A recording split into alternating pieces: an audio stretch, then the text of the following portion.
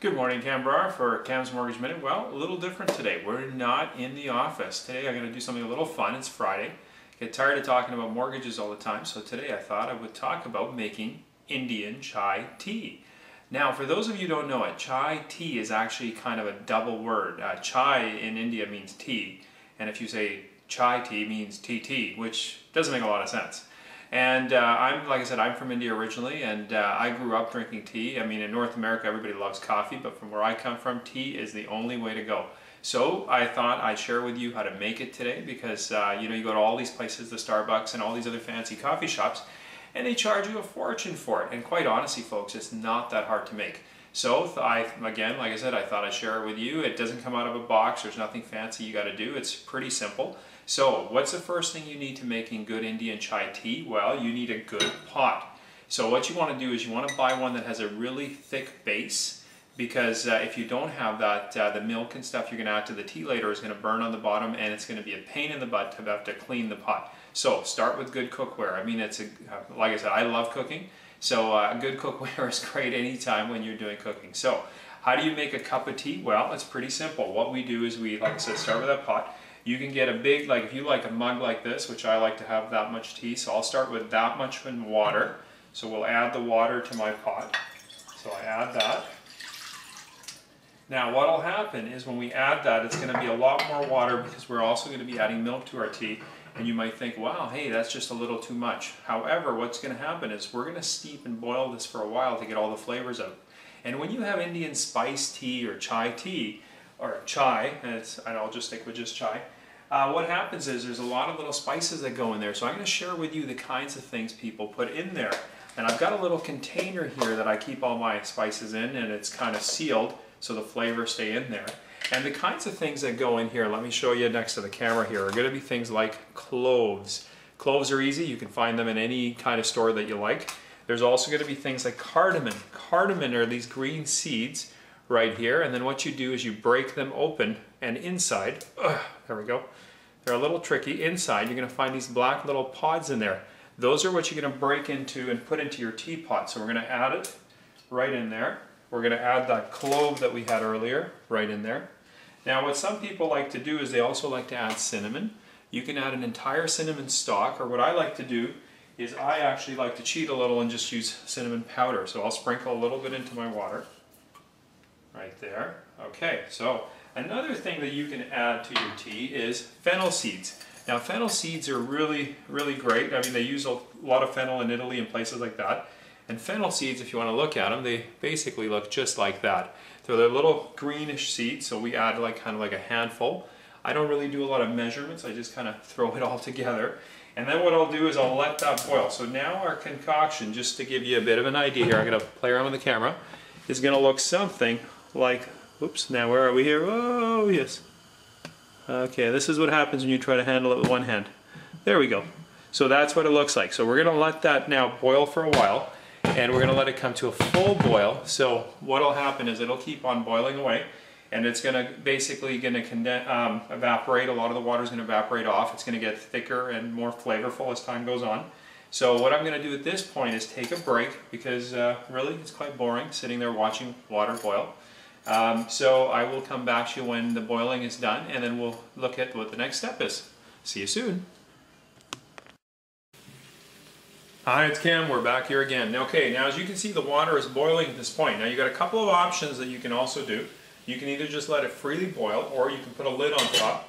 Sometimes it's nice to have the lid on top because it tra traps the flavors even better and the water gets even more and more flavorful as the boiling process goes. So again, Make sure that if you uh, do lift it up, be very careful you don't burn your hand. Uh, get yourself, again, a good cookware, because good cookware will have a handle that's uh, pretty solid and isn't going to heat up as well. So, again, I'll take a little break, we'll let it keep on boiling, and we'll be back once uh, we're ready for the next part. See you soon. Hey, it's Kam, we're back. Okay, so the water's been boiling for some time. I'm going to bring the camera a little closer. Again, excuse my lack of uh, Spielberg-esque skills. But just to give you an idea, that's what it's going to look like. It's boiling away. You'll probably notice the color changing. It's the cinnamon, adds a little flavor to it and stuff. Now, I'm not a very scientific cook. I cook more by kind of just feel and, um, well, feel, I guess. Uh, so, how do you know when you the water's boiled long enough? Well, the bottom line is you're going to smell the aromas in the room.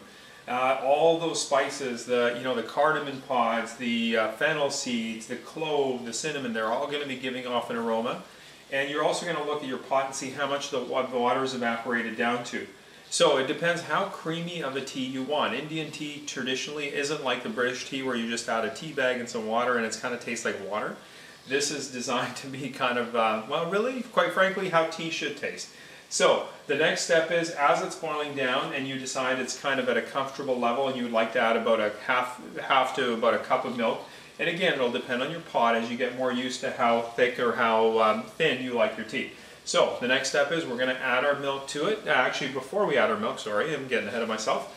We've got the all-important tea bag. Well, that's going to be really vital. So when you're making chai, what kind of tea bag should you be using? Well, really in, in chai, you're going to use either an orange pekoe type tea, which is what I grew up on, or you're going to use a black tea. We don't really use uh, orange swirl, raspberry, herbal, chamomile, feel-good kind of tea. That isn't really what chai tea is designed to work with. It's tea that has caffeine, so either you're to go, like I said, with a black tea or an orange pekoe. I like to buy the one in the orange pekoe in the bag simply because it doesn't make a huge mess in my pot. Some people like the loose black flakes and that sort of stuff, which is great, and you can use a strainer after. So we're to take our tea bag, we're to throw it in, and we're to let it just all boil together now for a while. So again, the color is to start changing uh, obviously as the tea gets boiling longer and longer. So after that point, we're going to be adding our milk. Now I am, uh, I, when I grew up, I grew up on well, homogenized milk or pretty much almost 4% fat milk, which was really thick. And it gave my tea a lot of flavor. Now as I've gotten older and more fitness conscious, I've uh, kind of drank skim milk. However, skim milk, even though it's wonderful and has great health benefits, sometimes you want that feeling of that rich flavor of tea. So what I do is either I will get, uh, let's say, a, um, 4% or a fully homogenized milk once in a blue moon to use, or what I find works really well is you take the combination of skim milk along with evaporated, uh, canned of evaporated milk, such as this one right here. And this one here, for example, is uh, fat reduced, for, so you can be calorie conscious and sensitive to the fats. However, it still gives you lots of great flavor at the end. I'll show you kind of what I do here. So, as you can see, our color is changing. It's pretty much dark and gone to that orangey color. So the water at that point is ready for your milk. So the next step is we just pour in the milk. Now, I don't really measure again because I've done this so often, I'm used to it. I'll pour in the milk. And then what I'll do is, huh, there we go, just a little dab more. And what I'll do is I will take that evaporated canned milk and I will add just a smidgen of it at the end. That's it. And that is uh, not going to add as many calories or as much fat in, but it really does a wonderful job of adding flavor to your tea. So at this point, what does your tea look like? Well, let me bring that camera over, over, over, over, oopsie, oopsies. There we go. And that is what it looks like. It's going to be that, that pile of water as milk, water. You've got this orange swirls in there. So if you're, I guess, like, I don't know, if you're a tea leaf reader, you can look in there. I don't know. Maybe it'll predict your future. So we're to let that come to a boil now. That's the next critical part. So as it uh, comes to a boil, we're not to wait here for it. I'm to put you on pause and I will be back once the boiling process starts and then we'll have a look at the final part. Okay, I'm back now. Now we've gone kind of handheld mode here and I'm just to show you. So there's our, our tea and our chai. It's coming to a boil. As you can see, we're to let everything boil up. And you got to be careful to keep an eye on it at this point. You don't want it overspilling and flowing out on your stove. So when it comes to a good boil, you're going to turn it off. That's it. I let it kind of simmer down for another few seconds just to kind of give it that additional thickness and that flavor.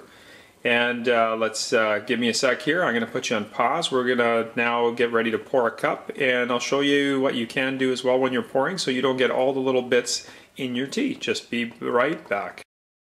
Well, we're back. Okay, so we're all done. We're going to turn off our stove. We've got our handy dandy mug right here. And if you don't want all of those cinnamon bits and all the other little cardamom seeds and all that other stuff in your tea when you're drinking it, you can use a little strainer. So you just pour some over right there. Ah, I'm making a bit of a mess. Obviously these cooking shows make it look a lot easier than it is in real life, isn't it? So here, I'm going to switch hands. I seem to work better on that hand. Oops, well maybe I don't work better on that hand. Okay, so there we go. I'm going to get it all poured out. And there we go. And just to show you really quick, there is all of those seeds and all that flavor and all that other uh, spices that came out of there. And now we have our cup of Indian, well, I'll just call it chai. And now you can enjoy this chai and you're not having to pay five bucks to drink it. Uh, it's, uh, like I said, fairly simple to make. I'm just gonna adjust the camera so I can kind of see you again. So, again, very easy to make, not that complicated. A good cup of chai, you can make a certainly a larger batch when you have friends over, just increase the recipe. And again, the recipe is very simple. Like I said, water, you've got your milk, you can use your evaporated milk at the end to add it, give it that additional flavor. You've got your uh, tea bags, and like I said, the tea is going to be either a black tea loose or you're going to get an orange pekoe and tea bags, which like I said is a lot easier for cleanup. And as far as our spices go, once again, we're going to use cardamom. We're going to use whole green cardamom. You're going to break them open. You're going to use the pods inside. You're going to use the cinnamon. You can use a stick, like I said, or do what I do, cheat a little bit, use the cinnamon powder. You can also uh, add the fennel seeds like we discussed, and you can add a whole clove in there. So again, like I said, simple recipe, throw them all in, let it all come to a boil of water, let that water condense down, throw in your tea bag, let everything boil again. Uh, you add your milk at the end, and again, if you want a little thickness and flavor and you're not using whole milk, cheat a little bit, use a little canned evaporated milk, it'll be fabulous, it'll give it that thickness. And uh, let it all come to a boil, pour, enjoy, and that's it. The way that tea was meant to be dr uh, drank, drink, drunken, I don't know. The, the way tea was meant to be enjoyed. Anyway, I hope you've enjoyed this segment of Kam's Mortgage Minute. Again, something a little different. I get tired of talking about mortgages all the time. So I thought I'd share my second passion with you, which is cooking. And like I said, I hope you enjoyed this episode of how to make chai. Enjoy your chai. Uh, give me your feedback. Send me a quick email. Tell me you liked it. And believe it or not, I mean, in summer weather, and I know this will surprise you, I mean, we're people in India and warm countries, they drink tea in hot days and it doesn't make you feel hot. It actually, ironically enough, and I don't know why, it seems to cool you down.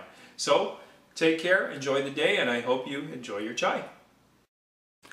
Oh, it's Kam here. Hey, I knew I'd forgotten something. One quick thing about your chai tea, your chai tea, uh, chai, sorry, not chai tea. Uh, you can add sugar. Now, I'm one of those folks that uh, doesn't use sugar. I don't. Uh, I'm not a big fan of putting it in my tea. However, if you like your tea sweet, definitely you can add sugar. You can add, like I said, brown sugar, white sugar, whatever kind of sugar you want. That's entirely up to you.